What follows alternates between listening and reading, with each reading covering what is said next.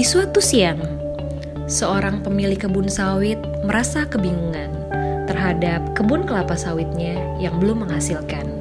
Ia pun bertanya kepada seorang temannya yang merupakan soil expert. Hmm, gimana ya Andre? Aku bingung nih. Baru juga setahun atau dua tahun inilah aku nanam pohon sawit. Tapi aku nggak tahu tuh mesti diapain. Oh, kalau tanaman kelapa sawit kamu umur 1 sampai 2 tahun, Mbak, itu berarti masuk ke tanaman belum menghasilkan, memang belum dipanen. Nah, tapi banyak sebenarnya kegiatan-kegiatan pemeliharaan untuk tanaman belum menghasilkan. Salah satu yang penting itu adalah kastrasi. Hmm, emang kastrasi itu apa sih, Andre? Nah, kastrasi itu, Mbak, merupakan kegiatan pemeliharaan tanaman belum menghasilkan kelapa sawit. Kegiatannya berupa pembuangan bunga jantan dan bunga betina kelapa sawit biasanya dilaksanakan ketika bunga tersebut mulai keluar dari tanaman kelapa sawit. Oh gitu. Terus kenapa dong kita perlu banget nih ngelakuin kastrasi?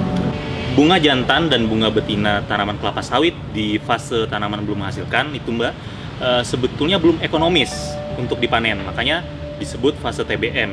Nah, ketika petani memberikan pupuk bagi tanaman kelapa sawit, harapannya hara dari pupuk tersebut uh, digunakan untuk pertumbuhan vegetatif, pembentukan batang, pembentukan pelepah, bukan untuk bunga jantan maupun bunga betina. Jadi, bunga jantan dan bunga betina ketika fase TBM itu harus dibuang ataupun dimusnahkan sehingga pupuk yang diberikan petani lebih efisien. Oh gitu, Ndre. Terus teknisnya gimana tuh, Ndre?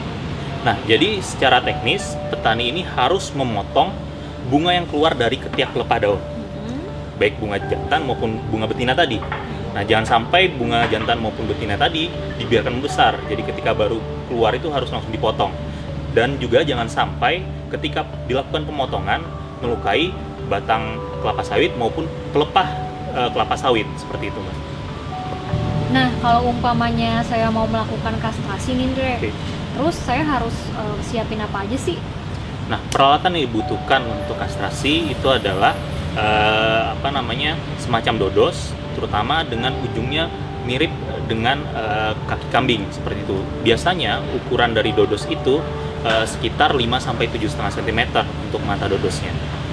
Nah, tenaga kerja yang diperlukan untuk kastrasi itu 1 HK per hektar per rotasi. Misalkan uh, ada lahan seluas 3 hektar ingin dikastrasi dan waktu pengerjaannya selama tiga hari. Maka kebutuhan tenaga kerja hanya cukup satu orang, Mbak. Oh, jadi sebetulnya gampang ya Andre kastasi itu?